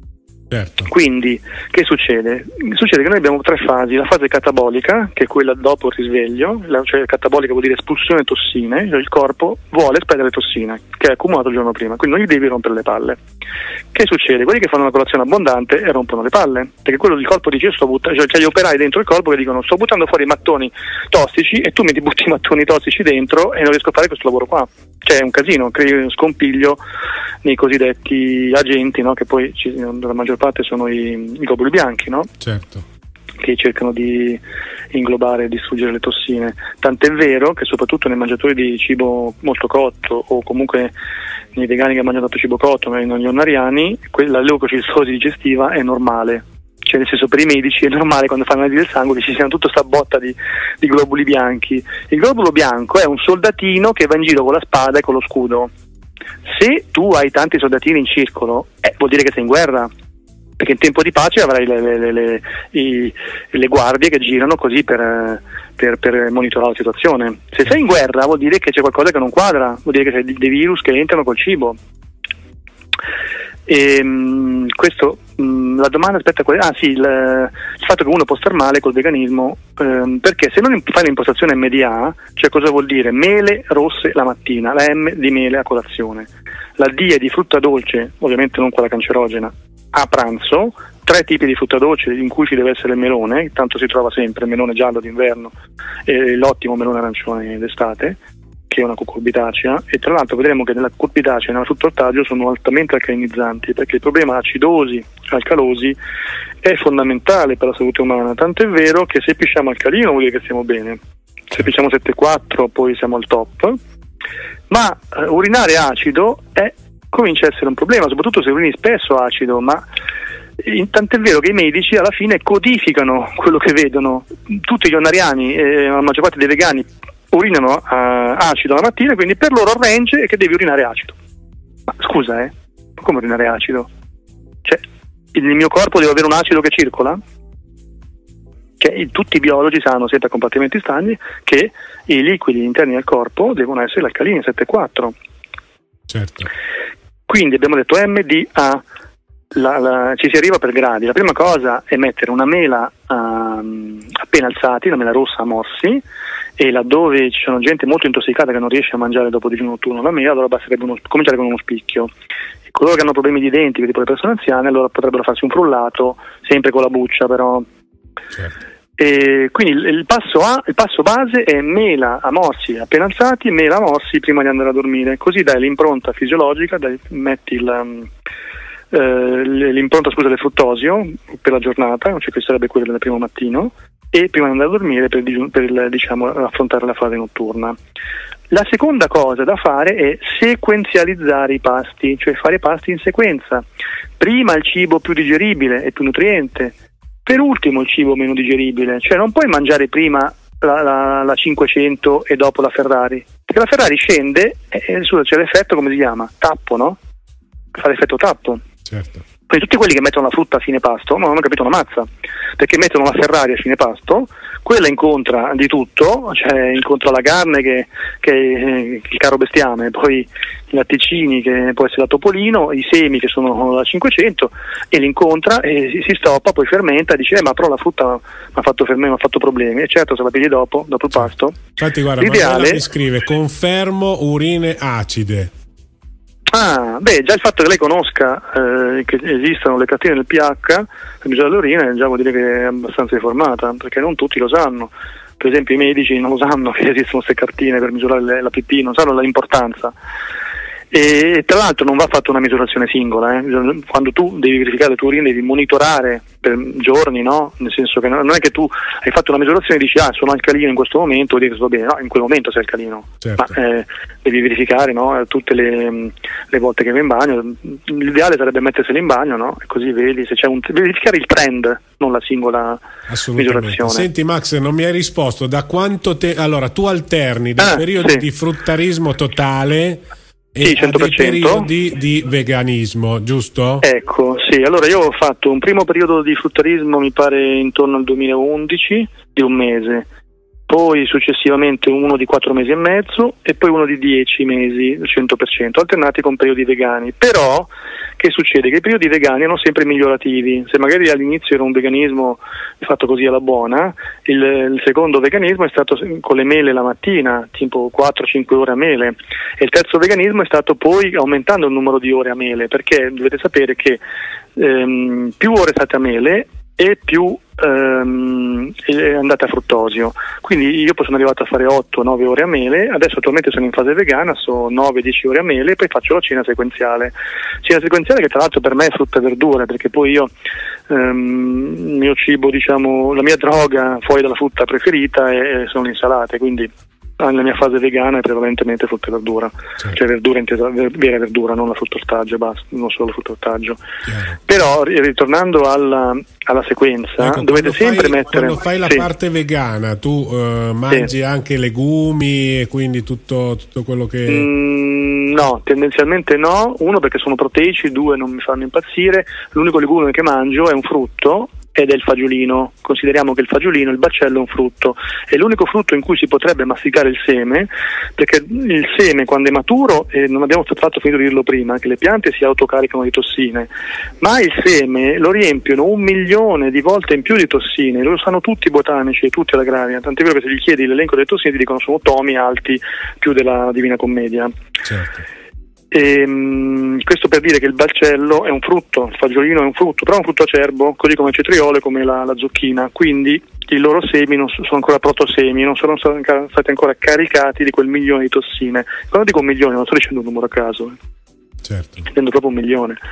Questo vuol dire che qualsiasi eh, contadino, qualsiasi lobby butti sostanze chimiche sulla frutta non arriverà mai ma mai sarà sempre mille o, o un milione volte di meno di quello, met- di quello che mette la pianta nel seme, cioè il suo figlio. Del resto, se uno ha dei figli, no? questo penso una mamma lo possa capire ancora meglio, ma cosa farebbe per difendere suo, suo figlio, per difendere la vita di suo figlio? Farebbe di tutto, no? Certo. Di tutto, ma inteso proprio ucciderebbe l'uccisore di suo figlio. E la pianta così fa. La pianta magari non riesce a uccidere eh, il singolo eh, assalitore, il singolo predatore, perché si chiama comunque predazione interspecifica, no? anche la, la, la, mucca che preda l'erba, mangia l'erba, è un essere vivente, quello lo strappa, si chiama predazione interspecifica. Ehm, la stessa uh, pianta per difendere il figlio lo stracarica di tossine in modo tale che magari il primo assalitore eh, riesce a mangiare il, il figlio, ma l- l'obiettivo della pianta è estinguere la specie predatoria che gli rompe le palle a lei. E, e ci arriverà, perché così è, perché le, le fitotossine sono talmente potenti che estinguono i loro predatori. Cioè magari non estingue il singolo, non riesce a uccidere il singolo predatore del figlio, e a differenza di un erbivoro che magari mh, può, può andare di culo, un cavallo può dare una zoccolata a, a un carnivoro e può centrarlo in faccia e ferirlo, addirittura ucciderlo. Certo. Una esatto. pianta non può farlo. Una pianta no, che fa? Può fare solo la guerra chimica, quella che Delia, essendo chimico, conosceva benissimo. Ricordiamoci sempre il suo nome, Armando Delia. Perché eh, ricordo spesso Delia? Perché poi è uscito online un testo che si chiama Specie Umana Progetto 3M, il quale eh, se voi lo andate a leggere è ultra scientifico, va oltre Delia e siccome gli autori, eh, l'autore un, si, si, presumono sconosciuti perché è firmato da John Smith, ma John Smith è un nome chiaramente mh, di fantasia perché il nome più usato in America è John Smith, è il cognome più usato, certo. tant'è che tutti, tutti gli, agenti segreti si fanno chiamare. Esatto. Presupponiamo che siano stati degli allievi, dei docenti universitari allievi di Delia, no? ricordate che dicevamo che mezza comunità scientifica di Roma è passata da, dai giovedì culturali di Delia, lo stesso Armando Veronesi, che tra l'altro Veronesi ogni volta che lo chiamavano in tv in quegli anni, lui si portava Delia o cercava di portarlo, tant'è che ci sono trasmissioni, non so se da Costanzo Show o da qualche altra parte, che Veronesi portava Delia. Certo. E purtroppo i filmati non li abbiamo trovati, però li stiamo, stiamo cercando. Alla ricerca. Senti, sì. e quindi mm, eh, ecco una cosa che aspetta, mi, è, mi è arrivato una, un uccellino che mi ha detto che tu praticamente quando vai al bar fondamentalmente chiedi acqua del rubinetto, poi in realtà l'analizzi. Corretto. No, in realtà in fase puttariana non bevo, quindi non, non dovrei chiedere acqua però eh, in realtà in fase vegana eh, la, l'acqua, perché uno beve l'acqua? Perché il corpo non vuole le tossine vicino, nella cellula vicino al nucleo, quindi vuole che le tossine stiano all'esterno mh, della cellula, comunque al confine della cellula. Che fa? Beve l'acqua per ingrossare le cellule così che la tossina sta molto lontana dal nucleo, perché il nucleo è delicatissimo. Certo. Non è un caso che i culturisti, che sono i più grandi mh, mm, mangiatori di tossine al mondo, perché arrivano so, a mangiare 10.000 calorie, o, tra l'altro poi analizzeremo che cos'è la caloria, che è un, un, conteggio antiscientifico, perché la caloria è il passaggio da 30 a 31 gradi in una stufa, e invece dovrebbero calcolare quante ATP ti dà un cibo e non quante calorie, che è, un, è complicatissimo, I loro, I loro, calcoli sono complicatissimi, non sembrano scientifici. Un culturista mangiando 10.000 o 12.000 calorie sembra che vada a bedersi litri e litri di acqua, ma mi hanno detto 5, anche 10 litri di acqua. Questo vuol dire che il suo corpo è talmente intossicato che ha sete ogni secondo perché deve allargarsi queste cellule. Tant'è vero che quelli che fanno i culturisti si dividono in due, no? quelli che fanno massa e quelli che fanno definizione. Quelli che fanno definizione eh, devono stare 24 ore senza bere perché devono arrivare con tutti i muscoli iperdefiniti e quindi come possono fare? Solo non bevendo perché ehm, tutta quella loro grossezza nei culturisti è metà è lavoro, perché è vero se lavori ti ingrossi, certo. l'altra metà è acqua. Tant'è vero che qualsiasi gorilla con un dito potrebbe, potrebbe, potrebbe farebbe scappare via qualsiasi culturista perché non ha la vera forza che ha un gorilla che invece mangiando solo frutta e tutti i giorni aggrappandosi agli alberi ha queste spalle mastodontiche, queste braccia. Certo cioè, pazzesche no? a livello di, di, forza, però ricordiamoci pacifiche perché non ha le categolamine mangiando frutta.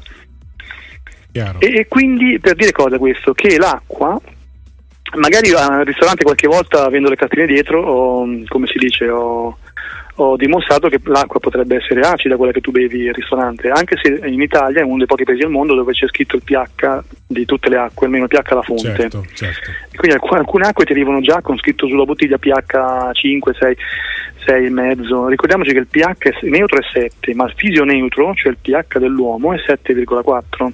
Certo. Però l'acqua è un acidificante, anche con un pH 8, sembra che ti alcalinizzi solo con un pH 9, infatti esistono delle macchinette, tanto piuttosto costose, che col pH 9 vedi che il risultato metabolico è alcalinizzante. Quindi sì, se nei vegani o nei fruttariani che dovessero esagerare con sale, allora lì sì subentra ancora il, il fatto che devi bere. Certo. Perché il sale è comunque una tossina. Senti, è una è, roccia. Eh, allora, io sapevo in realtà ehm, che praticamente la differenza di utilizzare questo tipo di dieta è dato dal, anche dal fatto, uno dei vantaggi è che in realtà facendo una dieta differenziata, quindi onnivora, insomma, chiamiamola così, onnariana, onnariana, onnariana diciamo. e fondamentalmente devi introdurre, cioè introduci un numero di calorie che più o meno viene stabilito per gli uomini circa 2000 al giorno e per le sì. donne circa 1500 e sì. mentre facendo una dieta totalmente fruttariana ne devi introdurre molte di meno. E... Allora, in teoria sì, ma puoi anche arrivare al 2000-2005 anche con la frutta, perché se fai, questa, se fai a media la mattina, la frutta dolce a pranzo e fai questa cena abbondante sequenziale, che ricordiamoci nel fruttarismo la cena sequenziale è iniziare col melone, quindi con la frutta dolce, poi la frutta ortaggio e la frutta grassa crude, poi la frutta ortaggio e la frutta grassa magari cotti al vapore, no? perché non è che devi essere crudista se fai fruttariano, tant'è vero che poi alla fine puoi metterci la pizza fruttariana. Che cos'è la pizza fruttariana? Mi chiederei tu? Sì. Esiste? L'hai mai vista? Certo tu mi sa che, l'hai vista solo, solo sì, in foto. Sì, l'ho vista a Festella. ah, l'hai vista? L'ho vista, l'ho vista. Ricordiamo che appunto la carpotecnia è tutta una serie di ricette che riproducono fedelmente tutte le ricette esistenti, c'è la carne fruttariana no? che è fatta col, um, col platano, polpette di platano, siamo riusciti a simulare anche il, il McDonald's, il McFruit, se voi cercate certo, il McFruit. C'è anche l'hamburger fruttariano. Esatto, esatto, certo. perché sono praticamente frutta ortaggio frullata, poi c'è lo stampino, fai la, la, la, la forma e, ehm, col platano, grazie al platano, siamo riusciti a fare tutte quelle ricette tipo pizza o crepe. Addirittura a Milano, lo possiamo dire, dai, non è che sia, c'è Viel, eh, Viel di Dell'Abruzzi che ti fa la crepe fruttariana, certo. cioè 100% fruttariana, perché lui era incredulo all'inizio, diceva, ma voi mi state dicendo che io con questa farina qua di platano posso fare una crepe. L'ha messa sulla sua apparecchiatura, no? che essendo uno dei più famosi capelli di Milano, c'è una apparecchiatura all'avanguardia, solo l'acqua e farina gli è venuta, mentre dice, cacchio, io nell'altra c'è le uova, c'è, cosa c'è nel latte. Certo. E cioè, tu ti fai la crepe, tra l'altro leggerissima, te ne puoi mangiare anche 3, 4 e non le senti come quella di grano, per, che ricordiamo c'è cibo per galline il grano, eh? cibo per granivori. E ehm, tutto questo era per dire che possiamo fare anche gli spaghetti, no? gli, gli, spaghetti di cetriolo, tipo gli cetriolo olandesi fatti a spaghetto, si possono fare delle, delle salse ma, pazzesche con l'avocado, la, la pomodoro secco, Tutte queste cose qua fanno sì che anche visivamente si riproduce le stesse ricette a cui siamo abituati, solo che da un punto di vista salutistico eh, non c'è paragone. Cioè, mangiare un McFruit, cioè l'hamburger fruttariano rispetto a quello del McDonald's, certo. ci corre un abisso. Sì, non è le Tra l'altro qua, insomma. lì, lì, c'è solo il nome Mill, eh, mi pare che c'è la mela dentro, ma così solo di, di facciata. Tra l'altro, a livello politico, Delia è considerato il più grande eh, rivoluzionario politico perché lui faceva queste cose non solo per un livello salutistico, ma per livello, proprio perché politicamente, eh, ripulendo i neuroni della gente, la politica in sia in senso lato che in senso stretto ne esce migliore. L'impatto ambientale, no? siamo cazzo in una radio ambientalista, il Movimento 5 Stelle certo. dovrebbe essere ambientalista, no? in, tut, in tucur, non solamente così eh, ogni tanto per qualche piccola battaglia. E, l'impatto ambientale, il 90% dell'impatto ambientale è l'alimentazione. Cioè mangiando carne eh, stiamo rubando un, il terreno a dei genitori africani che eh, per disperazione abbandoneranno il terreno e eh, lasceranno i bimbi eh, orfani.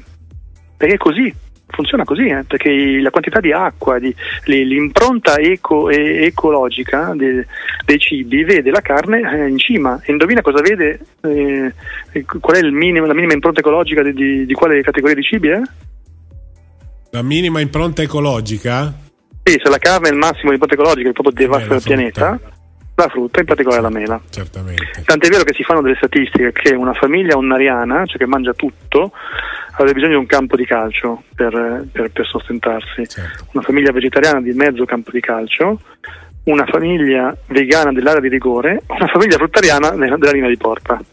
Dimmi tu se l'impatto ambientale non, non, non, non è diverso. Chiaramente no? Cristina non sei riuscita a convincerla che dice? Che dice che scrive? Quello che scrivo è tutto basato, chiaramente ci ha, ci ha messo dei post che riguardano le proteine, eh. che riguardano le proteine eh. animali. Quello che eh. scrivo è tutto basato su conoscenze scientifiche ormai accertate da tempo e fin tanto che non ci saranno prove scientifiche che spazzano via quelle già accertate, occorre rifarsi a sì. queste.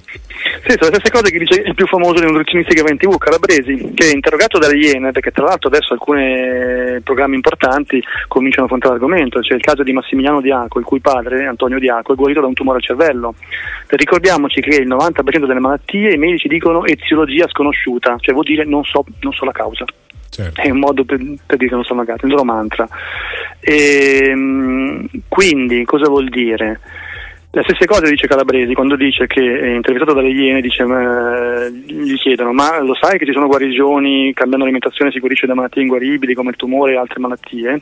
E Calabresi dice ma sì ho sentito, però io finché la letteratura prevalente è quell'altra, seguo quell'altra, quando questa letteratura diventerà prevalente seguirò questa. Certo. cioè capito? Sembra di, cioè, allora, credo, sembra di stare nell'ambito della letteratura, della poesia, della prosa, cioè fin, finché è prevalente, che ne so, la lingua doil, io eh, parlerò la lingua doil Achille. Quando sarà prevalente la lingua doic parlerò doic. Ma certo. cosa vuol dire? Cioè Calabresi dovrebbe fare lo scienziato e verificare sul campo e vedere le cose sul campo, perché detta così che cosa vuol dire? Certo. Che lui si fida delle, prove di laboratorio fatte sui topi? Pensa di essere un topo? Cioè, perché non va a vedere Antonio Diacono perché è guarito da un tumore al cervello? Certo. O, ma mica è solo questo l'unico caso, abbiamo decine e decine di casi di diverse malattie inguaribili, casi di guarigione d'artrite e d'artrosi tutte medicine, tutte patologie che la medicina dichiara inguaribili. E poi il fatto delle proteine, nel corpo devono entrare gli amminoacidi, la frutta ha tutti gli amminoacidi, le zucchine essiccate hanno più amminoacidi della carne, quindi di cosa stiamo parlando? Certo, per non parlare e, poi dell'impatto eh, dal punto di vista ambientale di quelli che sono esatto. oggi gli allevamenti e tu mi devi dare una mano intensivi, no, su questo assolutamente ragazzi. Mi devi dare una mano perché il Movimento 5 Stelle ancora non è eh, sensibilizzato all'impatto ambientale della zootecnia, zoo certo. vuol dire animali. No, ma poi soprattutto quanto gli allevamenti intensivi zootecnici in realtà dal punto di vista ambientale, quindi solo sul sulle, su quello che è il metano generato fondamentalmente sì, sì, è, sì, è assolutamente incredibile il quantitativo senza pensare a come vengono trattati questi animali. Insomma quindi ragazzi tra l'altro, tra l'altro, i cioè, video piuttosto che eh. Eh, ehm, chiaramente avete, ehm, ognuno può avere le proprie convinzioni dal punto di vista alimentare però vi prego andate a cercarvi quelli che sono i video sugli allevamenti intensivi e sui macelli degli animali, insomma, come vengono utilizzati, come vengono allevati e il pollo che noi mangiamo, che, che quasi tutti gli italiani mangiano molto spesso ormai, visto il costo della carne eh, di bovino, e come vengono allevati soprattutto negli Stati Uniti ragazzi guardatevi questi video vi prego, guarda, vi guarda prego. sono cose che girano su YouTube pulcini e... messi vivi nel tritacarne ragazzi è una roba incredibile incredibile le, le urla dei maiali del macello poi certo, sono certo. qualcosa di disumano tra l'altro io penso che mi consideravo animalista fin dal mio da quando ero ragazzo, no? magari non ero un attivista politico, però mi consideravo animalista e in qualche modo cercavo di dare il mio contributo. E poi mi sono reso conto che come cazzo facevo a essere animalista mangiando la carne. Eh certo. Io pensavo di doverla mangiare perché alla fine è poi ho verificato, è solo un passaparola, però un passaparola prevalente e pensavo avessero le prove no? di questi, questi medici, questi nutrizionisti. Tant'è vero che poi tu gli chiedi dimostramelo, cioè questi dammi la bibliografia, dammi un libro, non ce l'hanno. Non ce l'hanno, certo. certo. Sta di fatto che mi consideravo animalista e però vivevo, sentivo dentro di me una contraddizione nel non essere almeno vegetariano, non dico vegano. E, e poi, a quel, poi, a quel, punto mh, quando, quando, diventi vegetariano poi studi bene, vedi che il latte eh, vuol dire che è rubato ai figli della, della, mucca che vengono poi uccisi e che non hanno il loro cibo uh, fin dalla nascita e la mucca è messa incinta con tutti i metodi artificiali, ma sì. delle cose vanno pazzesche. Sì, sì, ma poi c'è anche quel video di quel vitello che viene portato via dalla madre e la madre che sì, insegue il, il, la macchina Pazzesco. che sta portando via il vitello appena nato, ragazzi, è una roba Pazzesco, perché la madre deve produrre latte, quindi non può curare il suo piccolo. È incredibile, è una roba assolutamente assurda. E poi abbiamo molti che adorano i cani e i gatti, certo. e allora ok, e la mucca no? È cioè, se, se, se hai sensibilità verso un mammifero o verso qualcuno che ha degli occhi e, e dovresti averla per tutti o cercare sì, sì, la di giustificazione questi animali fondamentalmente nascono per servire da cibo questo, queste è robe da medioevo, robe medievali. Sì. Cioè robe... Sono d'accordo con te. Senti, ma comunque io tolsi, vista... tol... eh, no, dico solo questa cosa, tolsi la carne quando vidi questi, nel, nel, nel 2000, negli anni, metà del 2000, vidi questi famosi video che già giravano su YouTube. Certo. E lì dissi, cazzo, no, ma eh, come faccio a essere un animalista? E e avvallare questa cosa e lì cominci a togliere la carne. Ok, quindi praticamente da quello che ho capito sono circa 5 anni che fai questo tipo di dieta.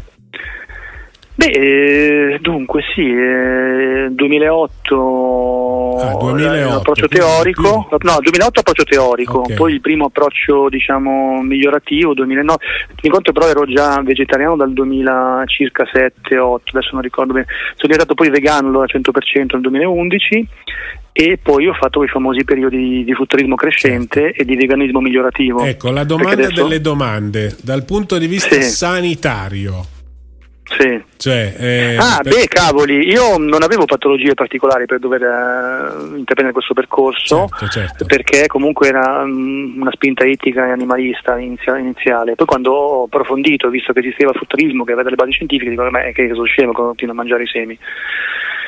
Infatti si dice, come che si dice, sei scemo mangi sassi, come sei scemo mangi semi. Adesso siamo un orario in cui possiamo anche, diciamo... No, ecco, volevo sapere, volevo sapere in realtà dal punto di vista proprio delle analisi, cioè, se tu ah, fai delle analisi Dunque io l'ho fatte una volta, no, una volta sola le ho fatte perché tanto non ci credo molto a analisi perché ogni minuto cambia il sangue, ogni minuto cambia l'urina, io mi misuro l'urina che è la cosa che posso verificare immediatamente, l'analisi non è che posso andare tutti i giorni e tutte le ore a fare l'analisi del sangue. Comunque per scrupolo, per curiosità le ho fatte una volta nell'ambito del progetto che si chiama Atena dell'ospedale San Paolo di Milano che eh, prevedeva ehm, il monitoraggio eh, di vegetariani e dei vegani. Io andai là, mi pare che ero in fase fruttariana e glielo dissi e loro non mi sembravano così stupiti, no? pensavo questi dicono ma che frutta che dicono, invece no, sapevano in letteratura, avevano detto che esistevano dei casi, no? perché non sanno che c'è tutto un mondo a macchia di leopardo che si riunisce anche su Facebook, in gruppi Facebook, comunque su YouTube, eh, ci sono diverse conferenze che fanno certo. vedere che c'è parecchio interesse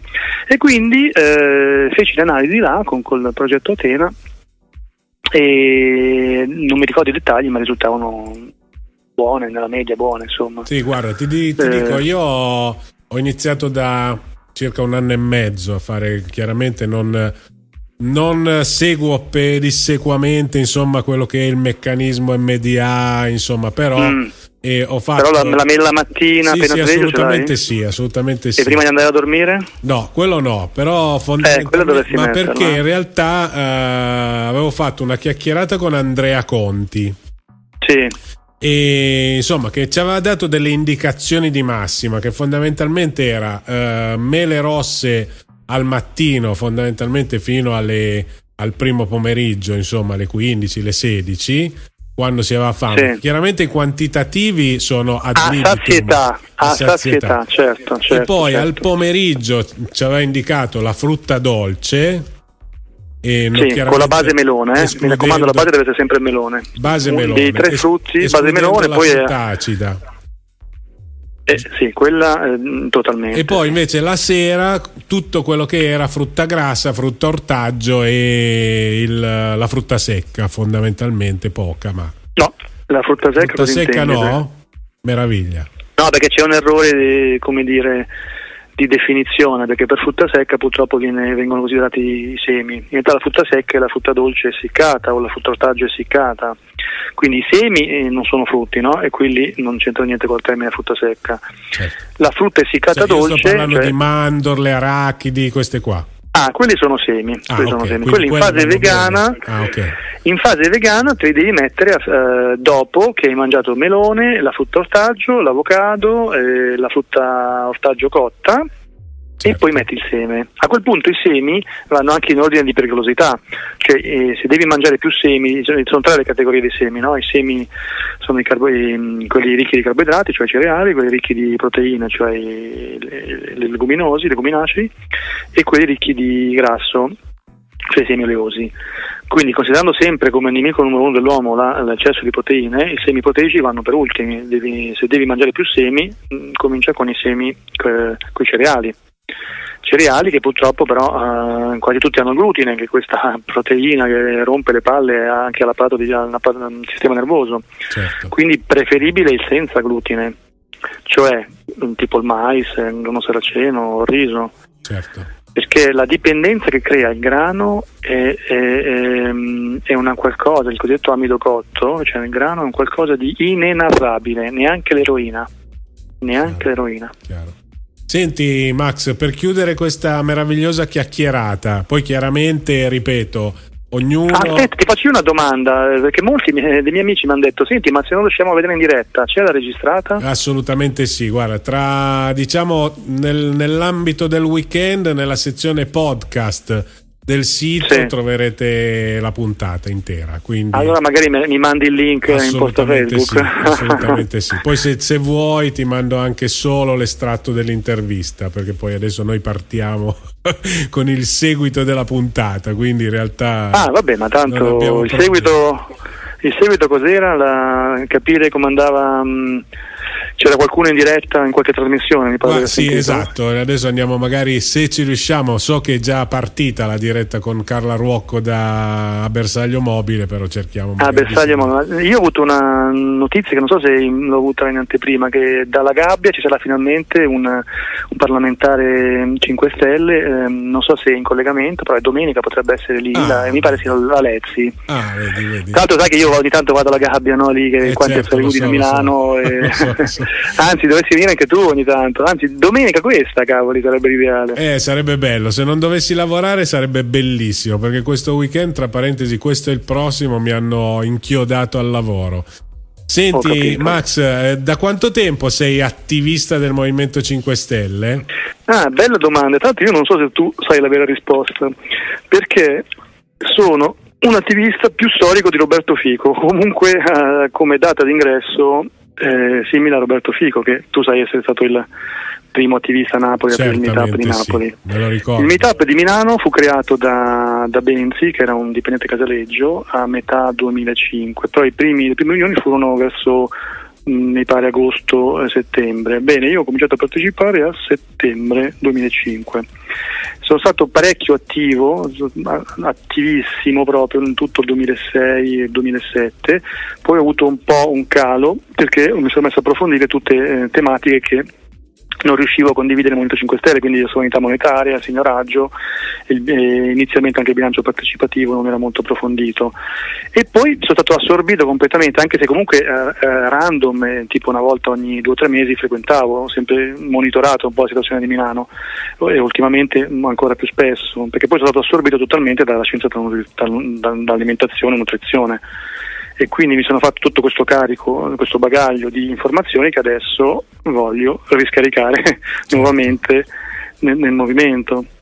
Chiaro, è chiaro. Comunque ogni tanto partecipo al gruppo eventi a Milano, Festello, Dottor Amano, insomma certo. ci sono, non sono più quello del 2006, del 2007 che ero forse uno dei più conosciuti in Italia, però all'epoca eravamo talmente di nicchia che solamente fra di noi ci conoscevamo, non c'era certo panorama che veniva a scandagliare eh, le, quello che era l'attivismo 5 Stelle. Sì. E comunque tant'è vero che quando mi vede, quando mi vede Fico mi fa tu eri il ministro degli esteri del, del, dell'epoca dei meetup perché frequentavo non solo Milano e provincia ma mm, quando c'erano occasioni importanti andavo anche, fino anche a Napoli tant'è vero che conoscevo tutti gli attivisti dell'epoca.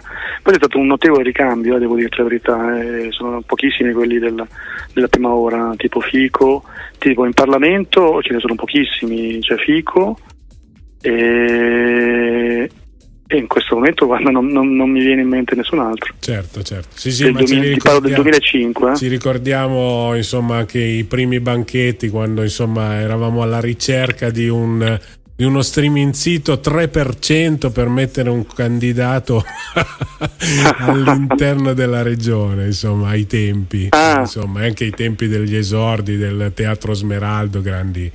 Insomma, è passata di acqua sì. sotto i ponti, assolutamente. Sì. Mi Max... ricordo che c'era Celentano e Mina, mi ricordo di, di lì posso democrazia sì. diretta a Celentano. Assolutamente sì. Senti Max, io ti ringrazio per, eh, per, questa chiacchierata che ci siamo fatti, oltretutto è un'ora e mezza di collegamento. Ah, dai. Molto, anzi, sì, diciamo quasi un'ora e mezza, un po', un po' di più di un'ora e mezza.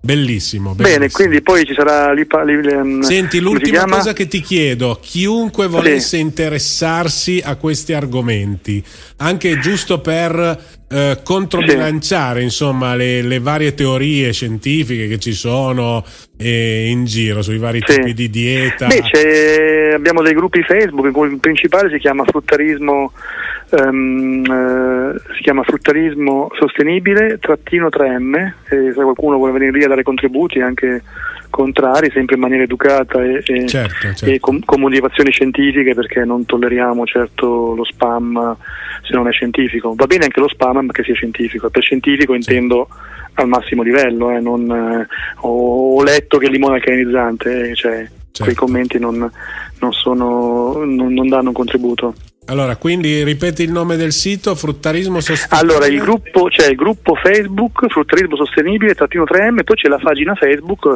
soprattutto anche per le ricette, Cosmo Fruttariano 3M, e lì eh, pubblichiamo spesso anche le ricette, anche se poi c'è un gruppo Facebook specifico okay. per le ricette. Fantastico. E poi su YouTube eh, basta scrivere Fruttarismo 3M o Nutrizione MDA, trovano le conferenze eh, fatte da, non solo da me, anche da altri e queste due sono le cose principali, insomma. Allora, benissimo, benissimo, Max. Io ti ringrazio tantissimo di questa chiacchierata.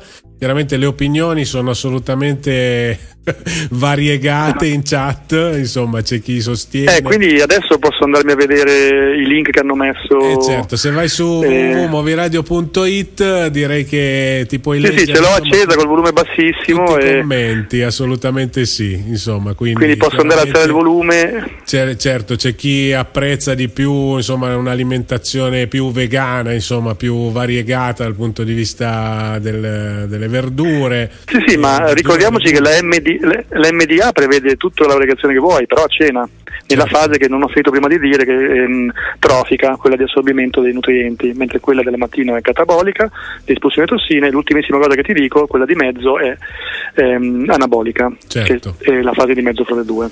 Fantastico, grazie Max. Grazie ok, grazie a te. Metto giù io, eh, metto giù. Eh, certo. okay. Ciao, grazie, buona serata. Ciao, grazie ciao, a te. Bello, ciao. Grazie.